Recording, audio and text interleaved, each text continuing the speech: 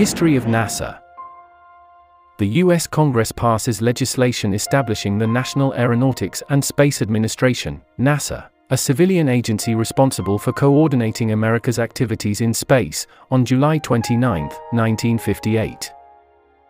NASA has since sponsored space expeditions, both human and mechanical, that have yielded vital information about the solar system and universe.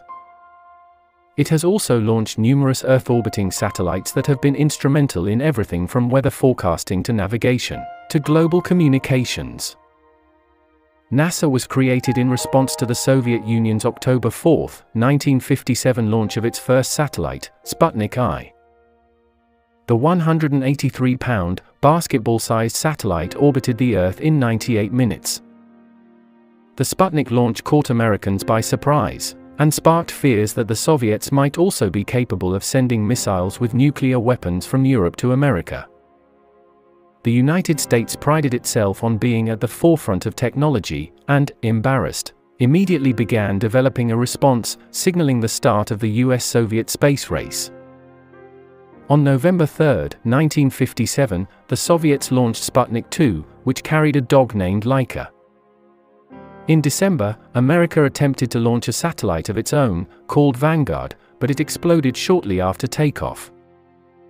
On January 31, 1958, things went better with Explorer I, the first US satellite to successfully orbit the Earth.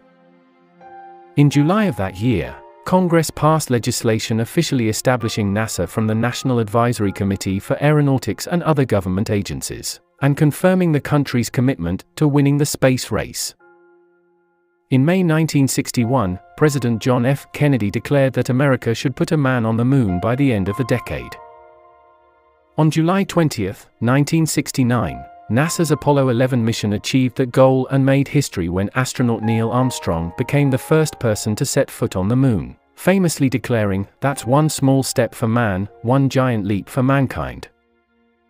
NASA has continued to make great advances in space exploration since the first moonwalk, including playing a major part in the construction of the International Space Station.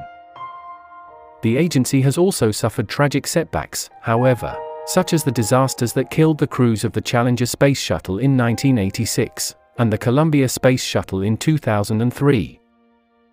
Thank you.